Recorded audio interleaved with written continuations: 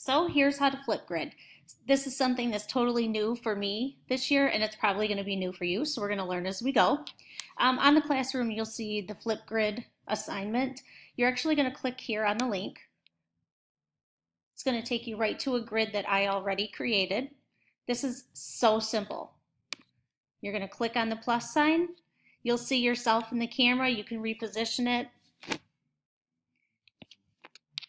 And if I just scroll down a little bit,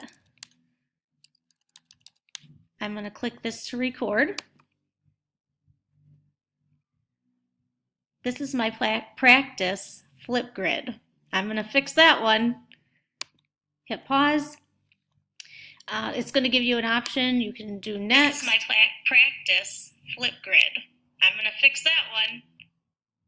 Okay, so it allows you to watch it. If you don't like it, you can trash it and redo it.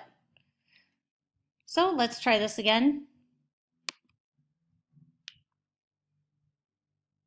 This is Mrs. Gill trying to show you how to use Flipgrid. Again. This is Mrs. Gill trying to show you how to use Flipgrid. If you're happy with it, click that button again. Now you're going to have to take a selfie, and that's what's going to show up at first. So here's my selfie. Again, if you're not happy with it, you can trash it or you can continue.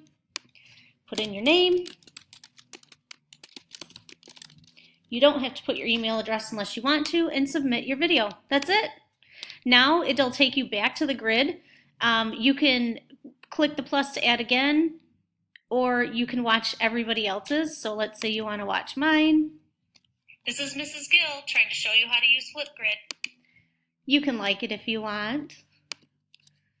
And I'm going to enable comments as well so you can comment on each other. That's it.